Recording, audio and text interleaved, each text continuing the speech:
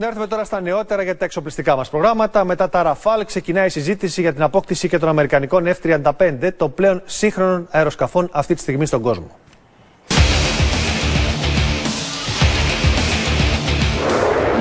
Μετά τα γαλλικά Ραφάλ και τα αμερικανικά όρατα, F-35 σχεδιάζει να αποκτήσει η πολεμική μας αεροπορία, ώστε να εκτινάξει τη μαχητική της ισχύ με ό,τι πιο σύγχρονο υπάρχει στο αεροπορικό όπλο. Ήδη έχει εκδηλώσει ενδιαφέρον ακόμα και για αγορά μεταχειρισμένων F-35. Η πολεμική αεροπορία έχει ως στόχο τα επόμενα χρόνια να μπει στο πρόγραμμα των F-35 και να ενισχύσει το πλωστάσιό της με το αμερικανικό μαχητικό Stealth πέμπτης γενιάς.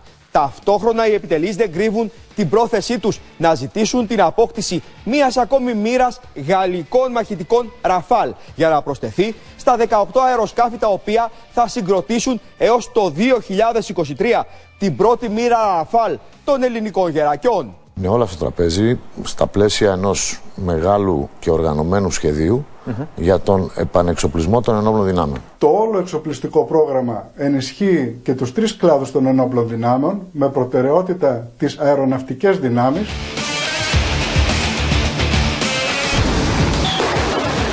Μέσα στο επόμενο εξάμεινο, το πολεμικό ναυτικό θα έχει αποφασίσει για τα καινούργια πλοία του στόλου. Στόχος να αποκτηθούν τέσσερις νέες φρεγάτες αλλά και μεταχρησμένα πλοία ενδιάμεσης λύσης. Ήδη εταιρείε από έξι χώρες, Γαλλία, Ολλανδία, Ηνωμένες Πολιτείες, Γερμανία, Ισπανία και Αγγλία, έχουν εκδηλώσει ενδιαφέρον για να κατασκευάσουν φρεγάτες για το πολεμικό μας ναυτικό. Υπάρχουν λύσεις οι οποίες εναρμονίζουν πλήρως τα επιχειρησιακά, πολιτικά και αναπτυξιακά κριτήρια που απαιτούνται. Το πολεμικό ναυτικό θα εξυγχρονίσει και τις τέσσερις φρεγάτες ΜΕΚΟ που διαθέτει, ενώ η Αθήνα επιθυμεί κάποια από τα καινούργια πλοία να κατασκευαστούν σε ελληνικά ναυπηγεία.